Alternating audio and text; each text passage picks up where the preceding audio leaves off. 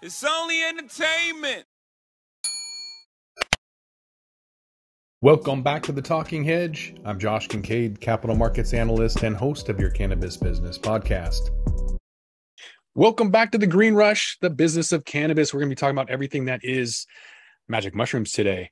With me to help me do that, Dr. Michele Ross. She's the founder of Infused Health, and Shango Los, the founder and host of Shaping Fire.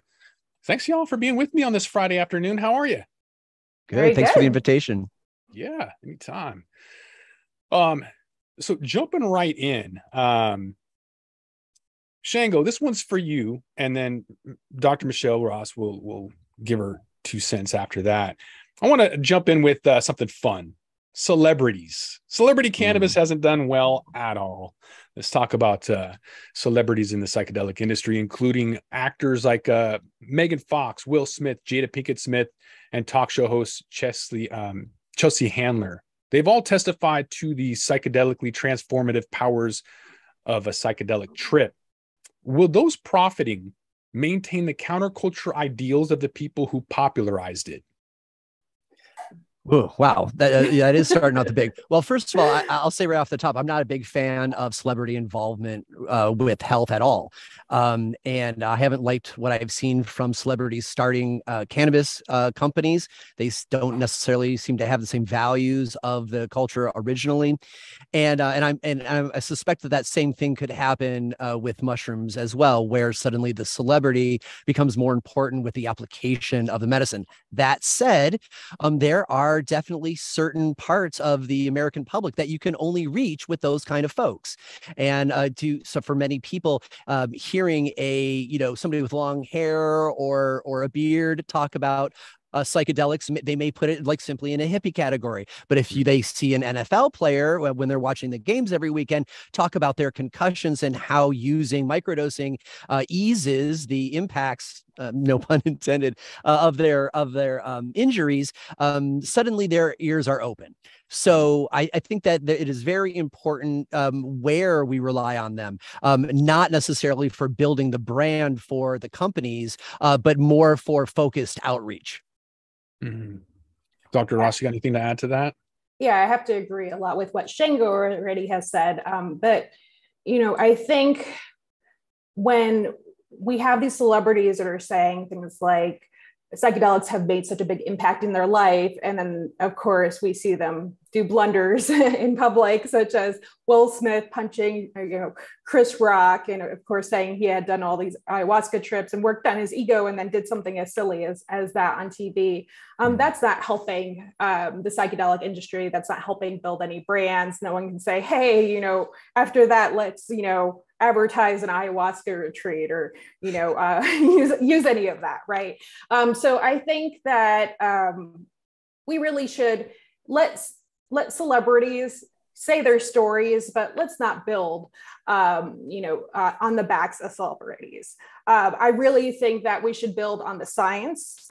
Um, and and again, keep the celebrities out of it. We haven't really seen a lot of uh, a lot of success with celebrity brands in cannabis, and I don't think what we're going to see a lot of success with celebrity brands uh, in psychedelics, with the exception again of very very passionate uh, people like again uh, you had i think um, riley cote on on uh, your show a little earlier uh, he is someone who i really really do respect who uh, has had uh, a very significant experience um, with psychedelics and a traumatic brain injury, very different. Um, but it, you know, he is both an entrepreneur and somebody in the space, not just somebody who you know ran off with a shaman and then you know did a hundred interviews or something like that. So I think it's really important that we separate the sensationalism, the the PR buzz uh, versus somebody who is actually building real businesses in this space.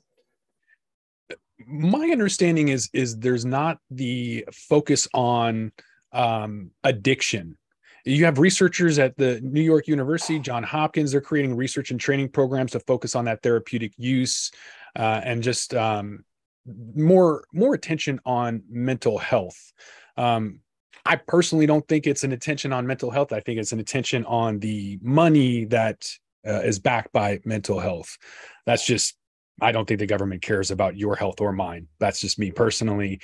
Um, but so we have to take that into our own hands, uh, our health into our own hands. Um, what are the benefits, Shango, uh, and risks for using mushrooms? Well i mean that could be an entire show in and of itself yeah. right? But but but to but to quickly summarize um, uh, what we're seeing mostly from people uh, using mushrooms for health reasons we number one by far the most common is by microdosing. Um, small amounts of of um, uh, psilocin in the brain um, is a ner- causes neurogenesis. And so you're rebuilding neural pathways and creating new brain cells for the um, you know so that uh, to slow mental degradation um, also, it helps with a lot of other uh, issues like um, uh, uh, anxiety, depression, concerns with end of life, um, uh, you know, existential dread. Uh, there's there's lots of things that microdosing can help with. Now, there's also a whole slew of studies showing that microdosing can help uh, rewire the central nervous system. But but honestly, this isn't getting the same amount of of attention yet. And you know, to a certain degree, that's the media's fault, and to a certain degree, people are not yet aware of these options, and so they're not being uh, facilitated enough. And you know, we have to remember it's still a Schedule One, even though availability has spiked. Um, it is still, you know, you still can get in trouble for holding on to it. Um, and then, of course, there are the people who are are taking, um, you know, uh, uh, uh, uh what we call museum doses at, you know, like maybe a gram, and that's just mostly for often for quality of life to to increase uh, your the quality of the day at the beach or the or the time with your family or making love or whatever. Right? It's just a quality of life increase, and and then you get people who are taking uh, large doses or heroic doses um, because there is something that is disjointed that they want to smooth out. They want to go through some sort of ego death or commune with the all or speak to God.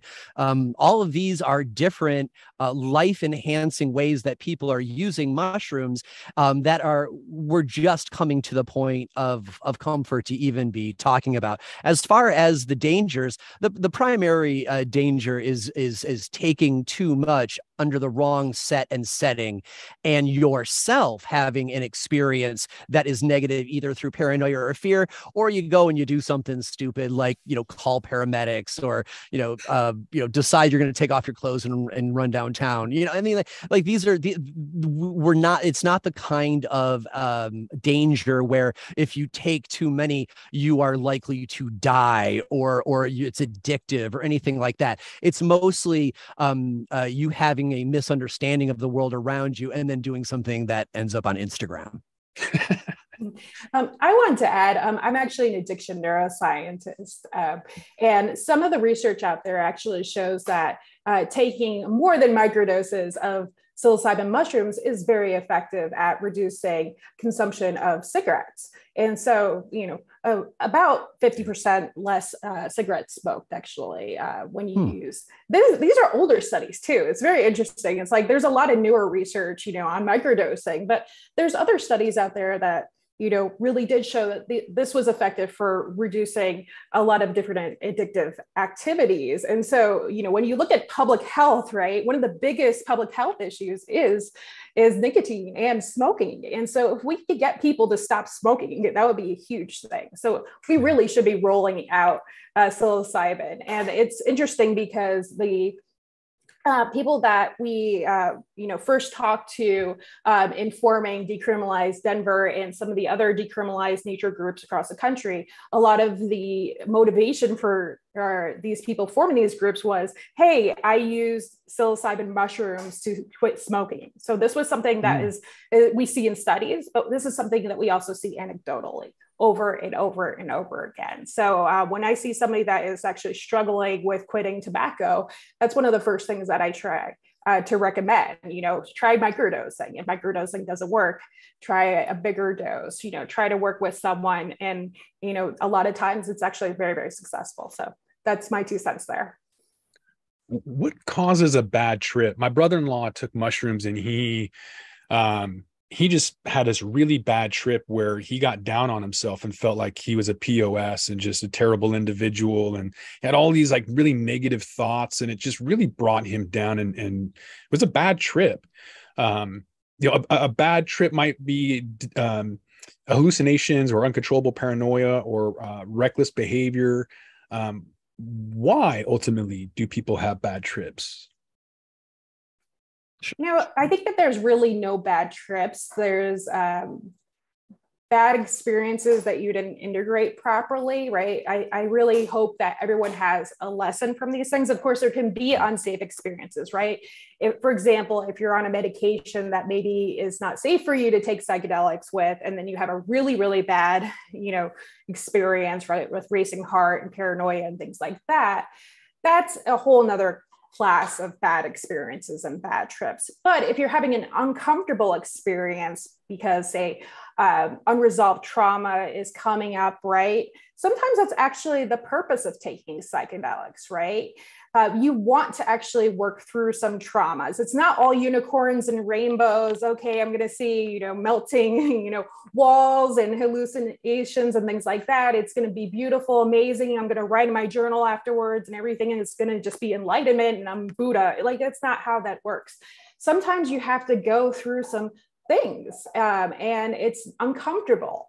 Um, and a lot of people sometimes aren't expecting that. They're not sure what to do with that. And so, again, it's all about set and setting. Part of this is, you know, knowing, you know, what the proper dose is, knowing how to take psychedelics if you're unfamiliar with it or you're taking a dose that's larger or you're you are going through something you know to have somebody you know sit with you and make sure you're okay and to take care of you and things like that so that you can go through a better experience. Um, it's always important if you do have a weird or again bad trip right to know what was different about that experience especially if you're a more experienced person right? Did you take something else with that? You know what was what was going on that was a little bit different. And usually you can pinpoint something was off you know or maybe again that was there was a lesson for you to learn and you need to integrate that afterwards. Usually there's something that you can pinpoint um, and then of course there's always you know the possibility that maybe the substance that you were using was uh, adulterated in some way as well. We have to remember that psychedelics, of course, are not pure pharmaceuticals and things like that. So there's a lot of things that can play into, you know, a, a bad trip. Um, Shango, I don't know if you want to contribute? Sure. Um, uh, I agree with everything Dr. Ross said, but I will uh, uh, um, uh break out uh, two parts: uh, the set and setting part, um, because a lot we often use this term "set and setting," and I've realized from mm-hmm. talking with patients that um, not everyone necessarily knows what that means. And set is your mindset, and so a lot of people, you know, they just think, "Oh, I'm going to do psychedelics casually," and mm-hmm. except for microdosing, that's like really not the case. You are taking a trip. And just like if you were to take a vacation, you would prepare and pack appropriately. And so you want to make sure you have a mindset where if if, if you are already in a crappy mood, um, psychedelics uh, usually just expand the mood that you are presently in. And so so you don't necessarily take mushrooms to make your mood better. You you try to get yourself in a you know as as good of a headspace as you can be because like I know some people are dealing with trauma, so they're not necessarily going to be happy, but but be in the the best, you know, one of the better mood states that you can be, and then take the psychedelics because that mindset will really set the tone for your experience. And then you're setting the location and who you're going to be with, uh, um, you know, is very as uh, important as well. You, if you're if you're kind of like an outdoor nature person, don't be taking your psychedelics and then uh, being inside with a room full of people with a loud television and and everybody else is drinking right you're, mm-hmm. you're setting yourself up for these bad experiences. And so, um, first, making sure your head's in the right place, and then making sure you've kind of planned out your trip. You make sure that you you know where you're going to be. You're going to make sure you've got your favorite snacks. Make sure you've got a lot of water, and and then open yourself to the experience. One other thing I want to point out is, um, uh, you know, uh, mushrooms have been done without uh, therapeutic or counselor care for forever. But you know, if you're somebody who uh, suffers from uh, serious depression, schizophrenia, bipolar disorder, um, things of this nature, you know, I would definitely consider, at the very least, discussing your mindset with your uh, care provider first and perhaps have um, such a person present for it because um, if you already have a questionable relationship with consensus reality um, a you know a, a, proper dose uh, could cause um, that that fissure to become even greater. And um, I would also add too that everyone before they go on a psychedelic trip should have uh, the fireside uh, hotline like on their their phone. So there's a free uh, number that you can call um, and you wouldn't remember to call them if you didn't already have it on your phone. So, like, do that, put that number in before you go on your trip. And in case you have something come up and you're panning and gigging, you're by yourself, or you just need to talk to somebody, they have people that you can talk to or text most of the time. Um, I don't think it's 24 7 yet. Hopefully, with funding, they will be, but um, it's a wonderful nonprofit service, and it's just amazing to be able to contact someone um, you know, hopefully uh, with the psychedelic renaissance, those services will just keep on expanding. But to have a trained person that is there without judgment to help you integrate that process or to be able to just tell you, like, you're not going to die, like, whatever you're going through is okay. I've gone through it too. It is okay. You are alive. You are not dying. It is okay. Like, that's all sometimes you need if you're, you're going through a really bad trip. But if you're going through a bad trip and you're by yourself, it is scary. So, free hotlines exist to help you. So put those in your phone before you go on a trip. We talk a lot about in the cannabis industry if you're going to eat uh, an edible, uh, wait, wait a while. The, the worst thing is is to overconsume and then have the heart palpitations and the the thoughts of panic and um, you know you're you're gonna die or whatever. Um, what is a, a moderate dose because i was looking online doing some research for for this panel and i saw that they put a moderate dose of like between one and three and a half grams but when i did three and a half grams like that was a huge dose i got into an argument with a poster i don't know if you guys remember red dog uh, a beer poster, but my my college roommate had a, a, poster, and I got into an argument with the dog in the poster from three and a half grams, and they're trying to tell me that's a moderate dose. I don't think that's a party dose. Uh, can you guys like explain what a moderate dose should be? Sure. The, the, so there's a there's a pretty common scale, and if people really want to go in depth into this, they can check out the recent episode of Shaping Fire where I interview Dr. Miyabi Shields, and we talk about um, the, um, uh, the the how the chemical brain functioning impacts uh, when you do a, a, heroic dose all the way down to a microdose. So generally, it is a microdose is going to be 0.1 of a gram. A mu- museum dose or something that you might enjoy um, an activity um, around other people uh, would I would consider a moderate dose would be one gram. And then from one gram up to three and a half grams, really more like your two to three and a half grams um, would be what what we would consider a, a, you know taking a trip, right? Do doing my mushrooms. But then there is over three and a half, which people will either call a heroic dose or a um, you know an ego death dose. You know, uh, you know, a- anything after three grams is getting very serious, right? You'll be you're going to be high. You're going to be high for a while, and and uh, your uh, relationship with consensus reality will will definitely shift. And so, um, you know, uh, know that you know.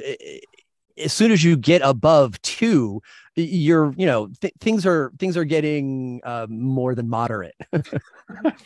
I would like to add, though, that everyone's experience is a little bit different due to their yeah. brain chemistry. And we have to realize that most Americans are on some kind of medication. Now, for women, they're on birth control. Um, now, many people are on mental health medications, and people are looking for, you know, magic mushrooms to help with their depression or anxiety. So, a lot of people are already on antidepressants, right? And they're not going to just quit their antidepressants cold turkey. Of course, that's not safe to begin with, but they're not really tapering down their their dose to go on say a recreational dose of mushrooms for one day right? And so a lot of antidepressants actually blunt your response to psilocybin mushrooms. So some of the dose ranges that you're talking about somebody who's already on psilocybin mushrooms some people might have a slightly you know um, more sensitive response to mushrooms, but most people will have a blunted response. So they might have to take slightly more mushrooms to have the same response. So it's interesting. There, there is a slight deviation in range. And again, um, it's, it's it really depends on how your brain chemistry is, what your medications are on, your weight, et cetera, what, whether you're drinking alcohol or mm-hmm. not, you know, uh, how much sleep you've gotten, what other supplements you're on. There's some supplements that you can take that are uh, will either boost the serotonin in your system or not, like 5-HTP, et cetera. So there's all sorts of little things that little variables that can affect how your experience uh, of uh, psilocybin mushrooms goes. Yeah, you mentioned alcohol, and, and Shango mentioned alcohol uh, at the beginning. Um, and Shango, you you live down the street from your buddy, um, Dr. Ethan Russo, and yes, he, yeah, he, he coined uh, entourage effect. So I'm mm-hmm. curious about the entourage effect in in magic mushrooms. That's so the entourage effect suggests that there's the sum of contributing parts of a botanical or biological process that produces a greater synergistic effect um, in comparison to the effects of each individual part when mm-hmm. presented alone. Does the entourage effect hold true for for mushrooms? Well, uh, the first answer is we don't really know yet because the research has not been allowed for so long. We are still learning what all the components and metabolites that are present in mushrooms that might be active. Now, last week on Shaping Fire, we um, interviewed a, uh, a, a mushroom analytics lab operator, and he went he spoke at length about the different analytes other than psilocybin that may be playing a role in our experiences. But we continually ran up against walls of science that does not exist yet. For example, those of us who are all familiar with cannabis and cannabis dosing knows that um, the terpene profile is exceptionally important, especially for uh, consumers that are only looking at THC. Right? Terpenes play a huge role in sculpting the variety of the the the, the experience. Well, mushrooms have terpenes as well, and we're only now starting to begin to look into those terpenes, what they might be, and what their effects effects might be, and what the secondary metabolites in uh, psilocybe mushrooms that could be influencing things. Mostly we focus on psilocybin because it converts to psilocin in the body, and that's actually the hallucinogen. So um, I would say that. Um, uh, we do not have firm evidence of an entourage effect like we do for cannabinoids in mushrooms yet, but that research is going on. And um, uh, you know, many folks expect that we're going to start finding secondary metabolites that are not psilocybin, which are adding to either the the the you know this is the central nervous system healing experience or just the, like the psychedelic experience itself. I mean, the fact that you have synthetic uh, psilocybin, right, and it has a different uh, effect than, say, a full spectrum, you know, mushroom is evidence that there probably is an entourage effect. Then you also have the fact that there's, you know, multiple hundred, if not hundreds of psilocybin, you know, species out there, right? And they all have different, you know, they do have different amounts of psilocybin in them, but they also have different amounts of these other, you know, like uh, and, and, and other uh, compounds in them. So they do have different effects uh, from how long you know the high is, how intense the high is, et cetera, right? So, for example, if you go to Amsterdam, there's all different types of mushrooms you can take, and they can sort of quantify what kind of effect you're going to have if you can go and take them, right? So we sort of can tell, hey, there are differences in mushrooms if you take them. So I do think that there is an entourage effect. Yes, we do need to, to quantify that that similar to how we we have in cannabis, but there, there's definitely something going on. Shango, you mentioned uh, earlier on that um, psilocybin rewires the brain, and and you also mentioned that there's no studies that have been uh, that have evaluated the long term effects of repeated use of, of magic mushrooms. And so I kind of want to bring that question back up about long term effects of magic mushrooms. They've been used in therapeutic settings to treat a variety of ailments and disorders, including cluster headaches, obsessive compulsive disorders, anxiety, depression, post traumatic stress disorder, addiction, and a recent resurgence in the research into the therapeutic effects showing promising results. But what's it going to take to enter mainstream psychiatry?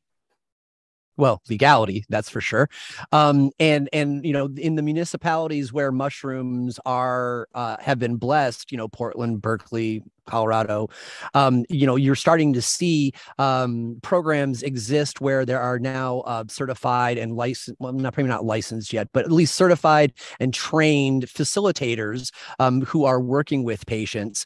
Um, but as far as the long-term impacts, I, I would say two things. Um, number one, I mean, it, it is a natural medicine that people take for uh, longish periods, and and historically, anecdotally, we don't see problems. But the very nature of mushrooms is, is not really designed for long term use, right? The idea is that um, uh, you want to cycle onto the mushrooms, take them from a, for a particular period of time, and then take a break and see how you're doing. Because um, unlike, let's say that if you are a pain patient and you're you're using cannabis because you don't want to use an opioid, right?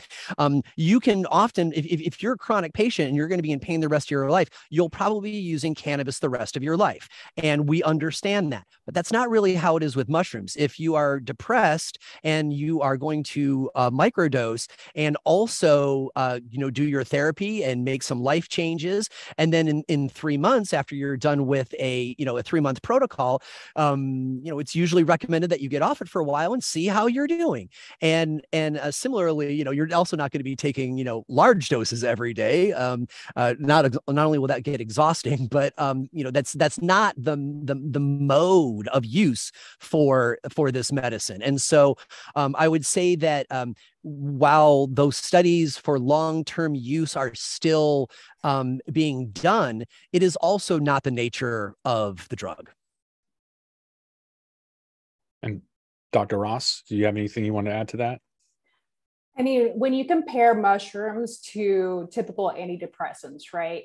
Um, I would say that psychiatrists and therapists are looking for things like safety, right? And one of the biggest safety concerns they have is um, the issues that patients have withdrawing off of antidepressants. In fact, a, a lot of patients don't see any efficacy after being on uh, antidepressants for years, but they have such issues uh, in, in side effects trying to withdraw from these antidepressants that they're stuck on them. They can't taper off of them. They're, they're literally just taking them because it is so horrific to uh, get off of, of, these antidepressants. So for uh, a therapist or psychiatrist, even if a patient had to be on mushrooms long term, um, you know, if, if there were no side effects to that, that would be less risky um, than having them be on pharmaceuticals. Now, the fact that they could be on them and be able to get off them with no side effects and no harms and then be able to go back on them without any real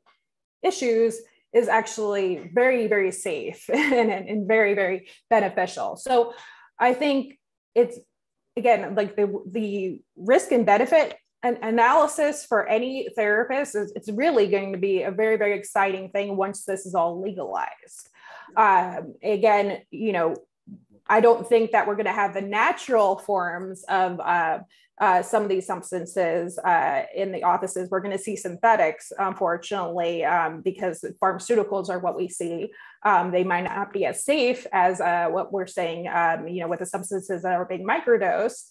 Um, but they're probably going to be a, a, safer form um, than what uh, you know the antidepressants and other medications that people are currently using. So again, safer is is better, and that's really what all it comes down to for doctors. I feel like we could carry this conversation longer, but y'all got a vacation to go to or whatever. It's sunny in Seattle. Shango, you got something to do, I know. So we're going to roll this one up. So I want to thank my guest, Shango Los. He is with uh, the founder and host of Shaping Fire. You can find Shaping Fire on uh, YouTube and probably a bunch of other places. anywhere you download your podcast. That's it. And then Dr. Michele Ross, she's the founder of Infused Health. Is it uh, Infused Health? Uh, it's drmicheleross.com. Bam, there you go. All right. So with that, we're going to roll this one up. We're going to be back uh, and, and, just after the commercial break with another panel. So I want to thank both Shango and Dr. Mm-hmm. Ross. Appreciate you guys being with us. Have a great weekend. Thank Thanks, you. Josh. With that, we're going to roll this one up. I'm Josh Kincaid. This is the Talking Hedge. Don't forget to like, share, and subscribe, or don't, and I'm out. Don't forget to smash that like button on your way out and check out these other videos that we've got.